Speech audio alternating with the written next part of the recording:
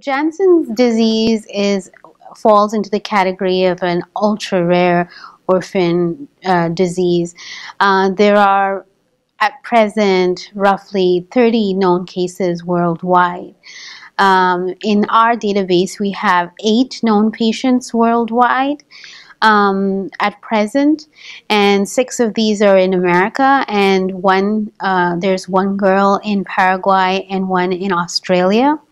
So it is a very unknown um, rather it is a very uncommon disease as you, from the num- as you can tell from the numbers. Um, disease is uh, primarily an autosomal dominant condition, um, and uh, what happens in the disease is the PTH receptor, which is the parathyroid hormone receptor, is turned on all the time, and so patients with Jansen's lose bone faster than they can actually make it.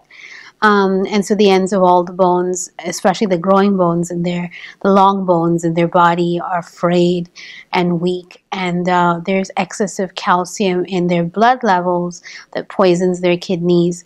And so the Jansen's Foundation was set up to find treatments uh, for patients with this disease to stop the overactive PTH receptor. And uh, we were we set up in 2017 in Nebraska. Uh, that's our home base.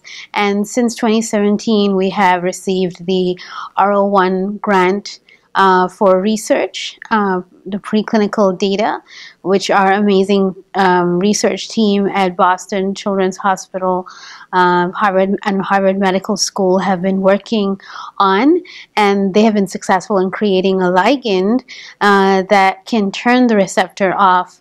And so, very recently, we were awarded the NIH TRND grant that will help us take our ligand into uh, development, uh, get all the tox studies that is done that is necessary to taste uh, to test efficacy and uh, to safety and to make sure that patients can then access it in a clinical trial, uh, hopefully by sometime next year, and that's our goal.